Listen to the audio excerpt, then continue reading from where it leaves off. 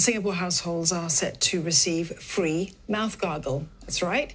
Temasek Foundation is giving them away under an ongoing initiative to help reduce the spread of illnesses. It says that the mouth gargle contains povidone iodine, which kills germs that cause sore throat. People must register online from next month before collecting the gargle themselves. Those living in one room to four room HDB flats will get an additional, smaller bottle delivered straight to their letterboxes. Temasek Foundation says that there'll be a second round of distribution after Chinese New Year if demand exceeds expectations.